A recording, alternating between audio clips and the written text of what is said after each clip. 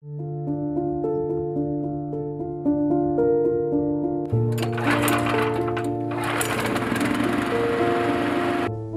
Valid Palishev Pop tumani mustaqillik mahallasida yashayman. Yoshim 18da. O'qishga topshirdim, ballarim yetilmaganligi uchun o'qishga kira olmadim. Va bu yurmaslik maqsadida mahallamiz yetakchisiga murojaat qildim. Boshqa yetakchisi meni murojaatimni ko'rib chiqishdi va subsidiya asosida motokultivatorni berishdi. u motokultivatorni olganimdan keyin o'rganish maqsadida qo'shnilarimnikini, o'zimiznikini, yon atrofdagi tanish bilishlarnikini haydash boshladim. Va hozirda o'rganib oldim.